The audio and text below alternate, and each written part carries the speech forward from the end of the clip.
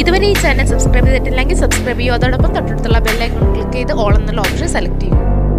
നടനും സംവിധായകനും തിരക്കഥാകൃത്തുമായ രഞ്ജി പണിക്കരുടെയും അനീറ്റയുടെയും മകൻ നിഖിൽ രഞ്ജി പണിക്കർ വിവാഹിതനായി. മേഘ ശ്രീകുമാറാണ് വധു.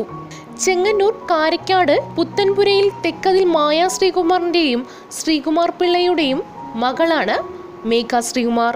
കിരൺജി നാഥ് സംവിധാനം ചെയ്ത കലാമണ്ഡലം ഹൈദരാലി എന്ന ചിത്രത്തിൽ നിഖിൽ അഭിനയിച്ചിട്ടുണ്ട്. ഹൈദരാലിയുടെ ചെറുപ്പകാലമാണ് നിഖിൽ അവതരിപ്പിച്ചത്. ചിത്രത്തിൽ ഹൈദരാലിയായി വേഷമിടുന്നത് രഞ്ജി പണിക്കരാണ്. ആറന്മുള ശ്രീ പാർത്ഥസാരഥി ക്ഷേത്രത്തിൽ വെച്ചായിരുന്നു വിവാഹ ചടങ്ങുകൾ നടത്തിയത്. അടുത്ത ബന്ധുക്കൾ മാത്രമാണ് ചടങ്ങിൽ പങ്കെടുത്തത്. കോവിഡ് നിയന്ത്രണങ്ങൾ പാലിച്ചുകൊണ്ടുള്ള ലളിതമായ ചടങ്ങായിരുന്നു നടത്തിയത്.